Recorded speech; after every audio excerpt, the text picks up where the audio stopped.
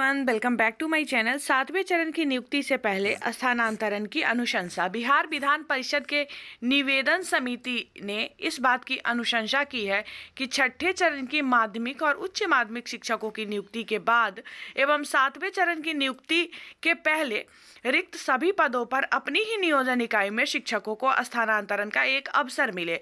समिति ने इस बात की भी अनुशंसा की है कि यह अधिकार उप विकास आयुक्त के साथ एडीएम को दिया जाए। इससे संबंधित निर्देश बिहार विधान परिषद सचिवालय ने माध्यमिक शिक्षा निदेशक को दिया है। इसकी सूचना सभी जिला शिक्षा पदाधिकारियों एवं जिला कार्यक्रम पदाधिकारियों को प्रेषित करने के लिए माध्यमिक शिक्षा निदेशक को कहा गया है।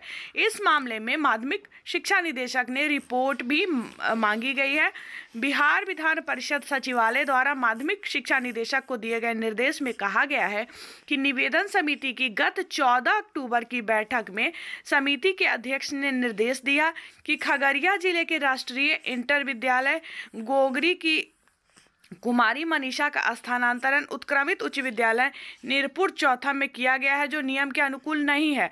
समिति का मानना है कि माध्यमिक शिक्षा निदेशक अपने स्तर से मामले की सम्यक जाँच करे और नियम एवं प्रावधानों के विपरीत किए गए इस स्थानांतरण को रद्द किया जाए। तो सातवें चरण की नियुक्ति से पहले स्थानांतरण की अनुशंसा जो है, वो की गई है।